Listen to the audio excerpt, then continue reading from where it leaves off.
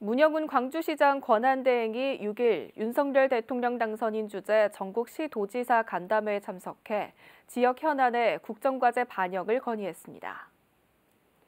문 시장 권한대행은 이날 광주형 일자리 시즌2와 연계해 광주가 미래 모빌리티 선도도시로 발돋움하도록 국정과제 반영을 요청했습니다.